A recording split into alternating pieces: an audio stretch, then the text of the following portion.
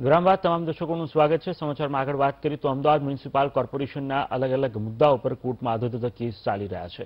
જેના માટે એપ્રિલ બે હજાર એકવીસથી ફેબ્રુઆરી બે હજાર બાવીસ સુધીમાં લાખોનું ખર્ચ થયો છે. કોર્ટમાં કેસ લડવા પાછળ સુપ્રીમ કોર્ટના પાંચ વકીલને રૂપિયા બાર લાખથી વધુનું ચૂકવણું કરાયું છે. તો હાઈકોર્ટના ચાર સિનિયર અને એડવોકેટ જનરલને સડસઠ પોઈન્ટ એકાણું લાખ ચૂકવાયા છે. તો હાઈકોર્ટના અન્ય બાર વકીલોને ત્રેવીસ પોઈન્ટ દસ લાખથી વધુની રકમ ચૂકવાઈ છે. હાલમાં એએમસી સામે કુલ નવ જેટલા કેસ પેન્ડિંગ છે સૌથી વધુ હાઈકોર્ટમાં પિસ્તાળીસો સિત્તેર સુપ્રીમ કોર્ટમાં એકોતેર કેસ પેન્ડિંગ જોવા મળી રહ્યા છે સિટી સિવિલમાં ચોત્રીસો સડસઠ મેટ્રો કોર્ટમાં ત્રેપન કેસ પેન્ડિંગ છે આ મામલે વિપક્ષે આક્ષેપ કર્યો હતો કે લીગલ વિભાગ ઝડપી કામગીરી નથી કરી રહ્યું જેના કારણે પ્રજાના ટેક્સના પૈસા વકીલોની ફીમાં આપવા પડે છે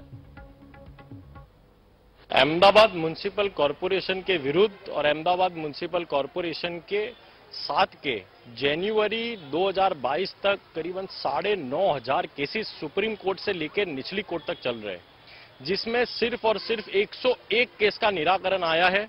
ये साफ़ दर्शाता है कि लीगल डिपार्टमेंट कुछ काम नहीं करता और वही सुप्रीम कोर्ट से लेकर निचली कोर्ट तक हर साल एडवोकेट को दो करोड़ रुपए देने में आते हैं।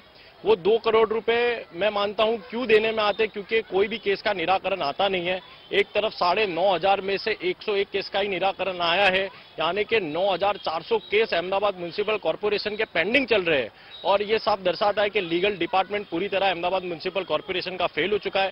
कांग्रेस पार्टी ये मांगनी करती है अहमदाबाद म्यूनिसिपल कॉरपोरेशन के तंत्र से और भारतीय जनता पार्टी से कि लीगल डिपार्टमेंट के स्टाफ को बदला जाए। लीगल डिपार्टमेंट में जो व्यक्ति अच्छे तरीके से काम करता हो जो व्यक्ति कोर्ट में अहमदाबाद म्यूनिसिपल कॉरपोरेशन के तरफ़ के और विरुद्ध के केसेस का केसेस का निराकरण लाता हो, ऐसे व्यक्तियों को लीगल डिपार्टमेंट में रखा जाए।